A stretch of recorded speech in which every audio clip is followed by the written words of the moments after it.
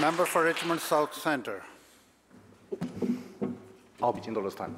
Thank you, Mr. Speaker, and I rise today to you speak about opportunity about rural social work today.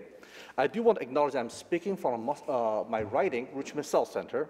It's from the Musqueam Coast Salish territory. I thank them for allowing us to live, work, and play in an unceded and traditional territory.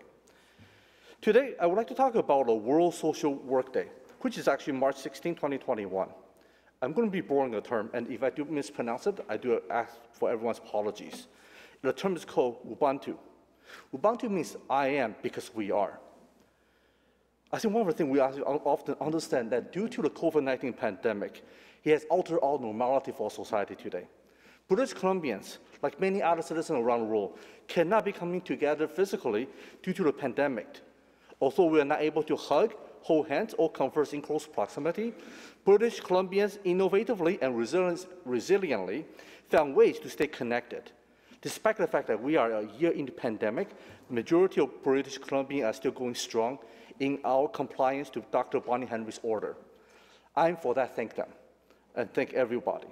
And we are also stronger because we're stronger together. However, the pandemic also amplified many social service challenges that we are facing today.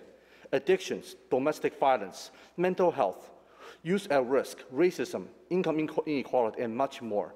Social workers are often the ones who have to be in the front line to be taking on the first services to serve the British Columbians, and the pandemic has amplified the challenge that we're facing today.